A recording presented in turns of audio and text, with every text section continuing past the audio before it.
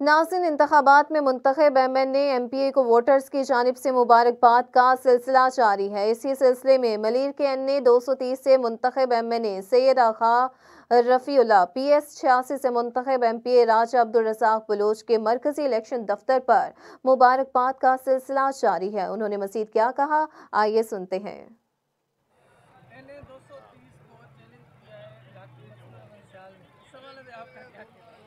बिल्कुल उनका एक कानूनी और आइनी हक है। जैसे उन्होंने हम अपने निशान पे आज़ाद हैसियत में इलेक्शन लड़ा, इसी तरीके से इनका ये आइनी हक है। वो बिल्कुल जाएँ, तमाम अदालतों में जाएँ। लेकिन एक बात एज ए पॉलिटिकल वर्कर करता हूँ, उनको अगर दिल पे हाथ रखे, अपने ज़मीर से बोले कि एन ए में अगर कहीं रैकिंग हुई है तो मैं आपको वो हल्फिया कहता हूँ कि मैं छोड़ दूँगा इलेक्शन। एन ए में अगर कहीं भी इसने साबित किया कि कोई रैगिंग हुई है, किसी किस्म की दांधली हुई है तो मैं आपसे कमिटमेंट करता हूँ, मैं पॉलिटिकल वर्कर हूँ।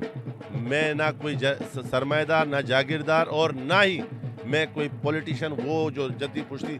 मैं एक बिलावल भुट्टो जरदारी का सिपाही और वर्कर हूँ। मैंने सिर्फ़ और सिर्फ़ लोगों की खिदमत करके ये वोट लिए हैं। उनको खुली छूटे, वो हर आइनी रास्ता अख्तियार करें।